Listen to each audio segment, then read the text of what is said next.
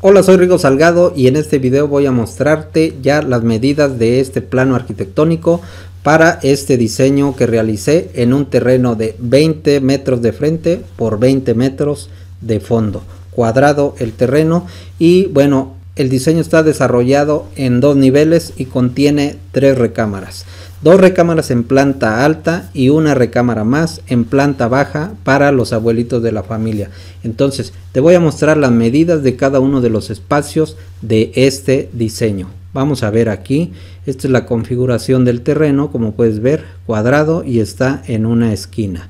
Entonces vamos a colocarle aquí las medidas, pero antes, bueno, voy a hacer una copia ahí para que quede intacto el primer modelo, el primer plano. Entonces ahora sí, aquí voy a colocarle las medidas que te pueden interesar para que tengas algunas ideas para tu propio diseño y construcción de casa, para tus espacios, ¿verdad? Entonces aquí comenzamos primero que nada con la sala. Aquí te voy a mostrar las medidas de esta sala. A ver, mira, en este sentido tiene 5.10 y aquí te voy a dar la otra medida de 4 metros. 510 por 4 metros una sala bien funcional.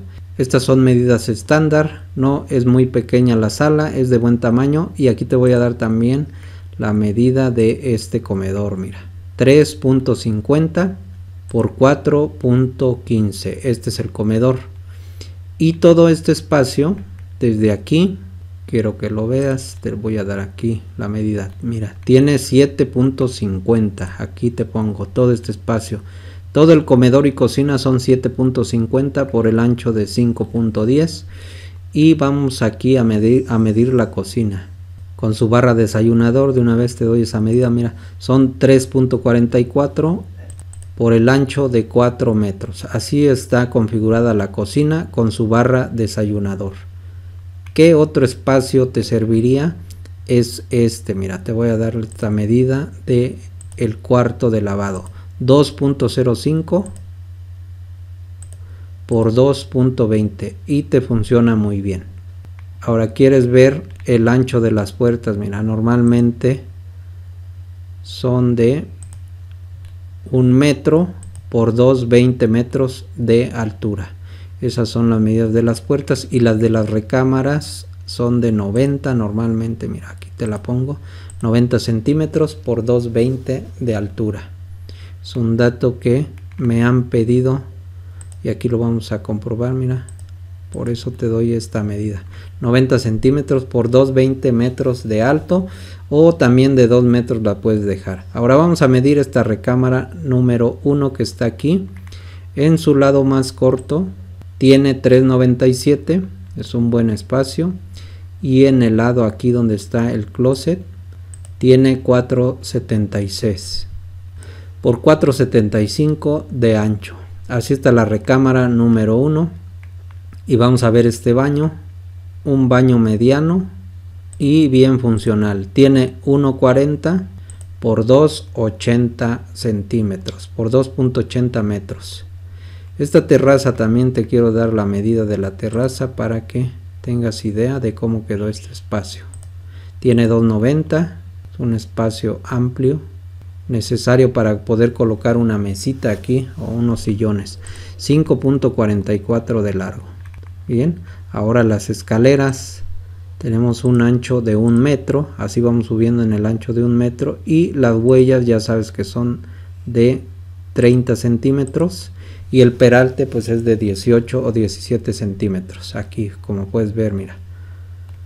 Ahora sí esto fue en planta baja. Vamos a ver planta alta. Quieres ver el andador aquí también antes de irnos a la planta alta te muestro el andador. Aquí tiene 1.50 y vamos a planta alta a medir la recámara principal que es un poco más amplia que las normales y aquí te voy a poner la medida mira tiene 4.45 de ancho por un largo de 4.97, casi 5 metros. 4.45 por 4.97. Recámara principal. Aquí están sus closet y aquí su cama. Mira, tiene salida directa al balcón. Aquí un balconcito. Te voy a mostrar cuánto tiene este balcón. 1.15. ¿Sí? Por todos los 4.97 hasta acá. Ahora su baño. Este baño que es un poco amplio pero con medidas estándar. Aquí tiene 2 metros de ancho por 4.97 y contiene un espacio para tina su lavabo su regadera y su baño. Entonces aquí vamos a ver otra recámara más no son de la misma medida todas las recámaras sino que la vamos adaptando según el espacio. 427 por 4 metros. 427 por 4 metros muy funcional. Aquí su closet y su recámara. Bien ahora este baño es un poco más pequeño porque pues no tiene tina. Es un baño normal pero completo. Tiene 1.40 por 3.40 y te cabe bien tu, tu regadera sanitario y una meseta para tu ovalín el lavabo aquí está. Y ahora quieres ver en qué espacio quedó esta escalera aquí está el cubo de escaleras. En un espacio de 2.15 por incluyendo el vestíbulo 4.99 y sin vestíbulo tiene 3.34 bien ahí están las medidas que creo que te van a servir para que tengas el criterio de los espacios, de, los, del dimensionamiento de estos espacios. Ahí está, planta alta, bueno, planta de techos aquí. Ya lo que quedó del cubo de escaleras, una parte es para los tinacos. Aquí va a haber dos tinacos para eh, surtir los muebles de baño de esta casa. Bien.